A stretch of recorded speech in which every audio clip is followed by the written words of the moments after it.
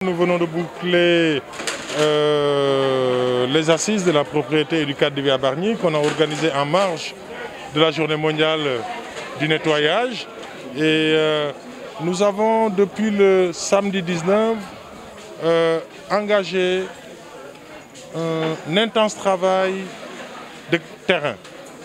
C'est-à-dire qu'on est parti dans les quartiers, rencontrer les acteurs de quartier pour échanger avec eux, pour avoir un plan de gestion du cadre de vie et un plan de gestion des déchets à l'échelle des quartiers.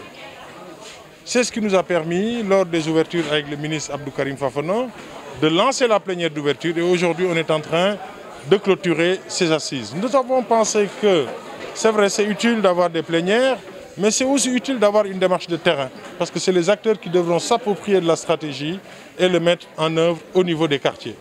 Nous avons une large participation des imams, des délégués de quartier, des présidents de conseils de quartier et surtout des professionnels du secteur. Et en marche de ces assises, nous avons également fait du reboisement.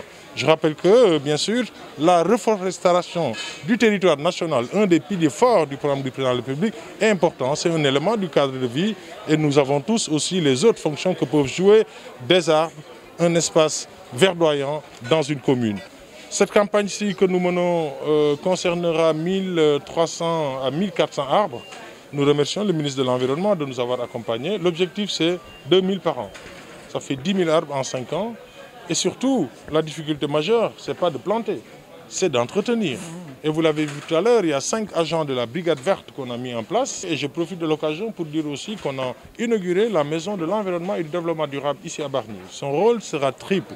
D'abord, éducation environnementale dans les écoles avec la création d'espaces verts dans nos écoles d'une part. D'autre part, lutter contre l'érosion côtière en portant le plus important projet de notre mandat, à savoir le relogement des populations impactées par l'avancement de la mer. Nous avons déjà bouclé les études, les appels d'offres de la première phase qui concernent 114 logements sur financement de la Sénélec dans le cadre RSE, répondre à l'appel du président en Sénégal propre, sans déchets et une reforestation du territoire national dans le cadre d'espèces du territoire d'Arnion.